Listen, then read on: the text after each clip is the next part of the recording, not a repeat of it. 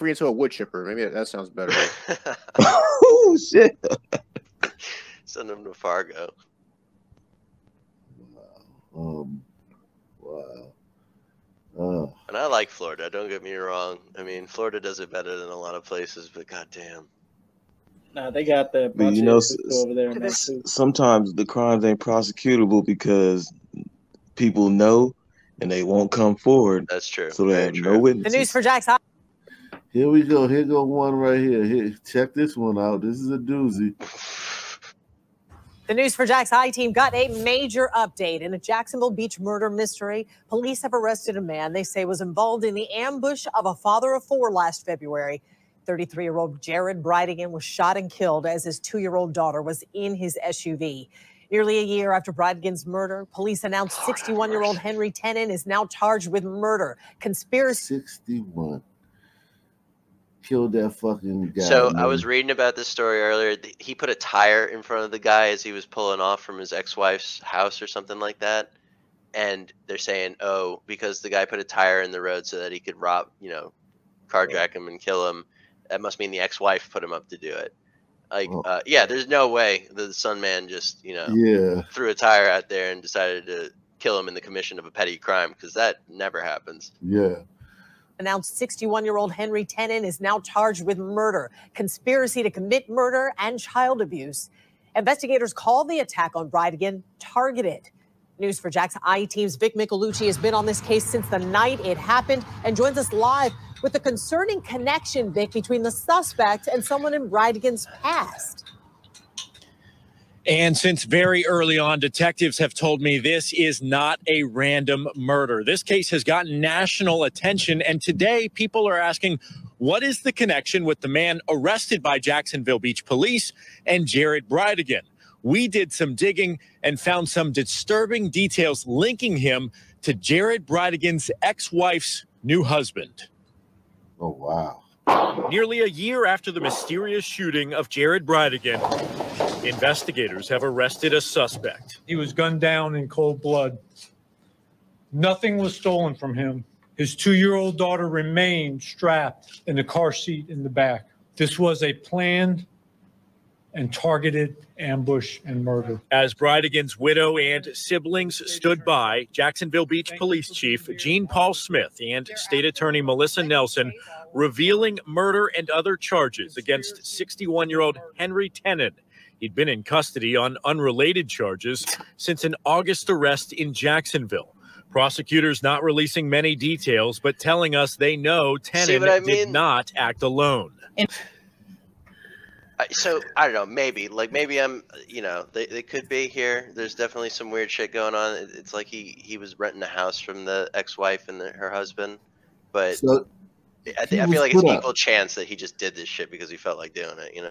I, I I mean he might have been put up to it. Like the the, the ex husband is mad at the, you know, the, the dueling lovers and shit. I don't be. know. In order to protect the integrity of this ongoing and active investigation, the state has obtained a court order sealing Tenon's arrest warrant and affidavit for the next 30 Right. days. Questions about Jared Bridegan's ex wife, Shauna Gardner Fernandez, and her new husband, Mario Fernandez, continue.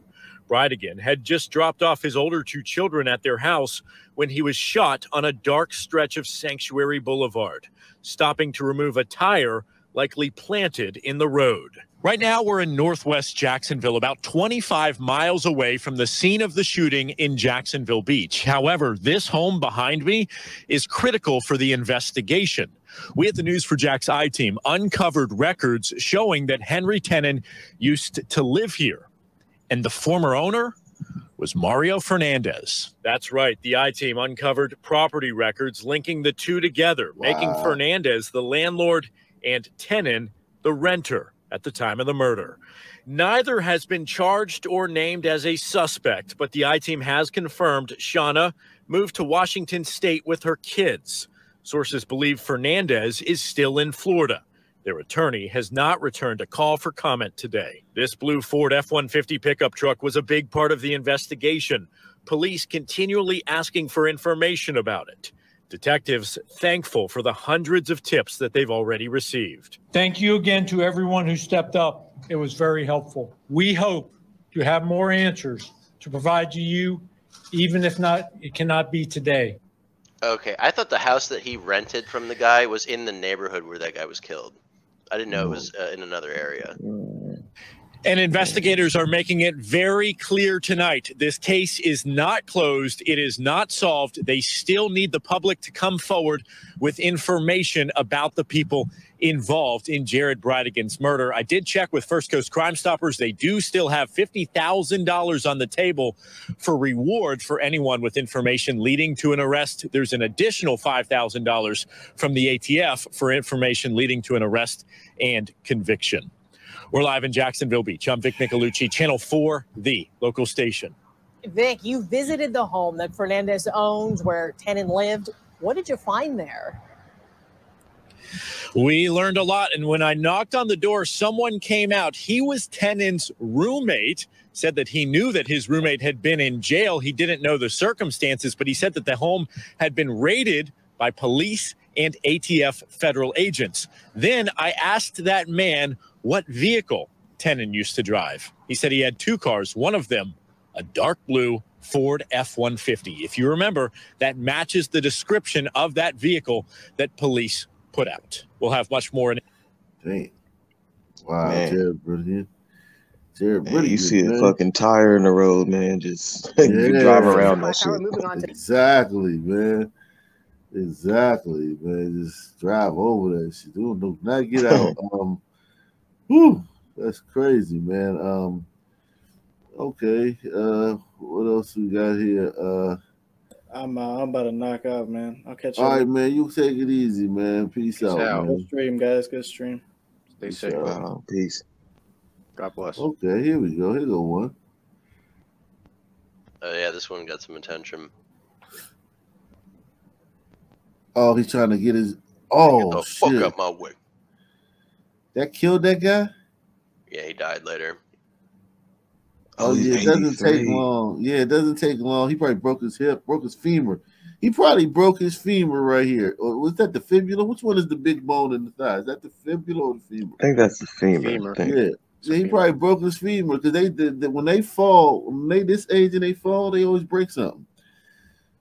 Look what he grabs. And that, that could have caused internal bleeding right there. There's a big artery right there. Yeah, he tried to stop him while he was stealing some shit. Yeah, to 26, you go to jail for first degree murder and robbery for, for pushing a cart out of Home Depot. He thugged out, man. When you hit the cell block, you the thug of the year. But he's still a bunch of drills. These are DeWalt, DeWitt. Oh no, those are those are um. What's Ryobi. that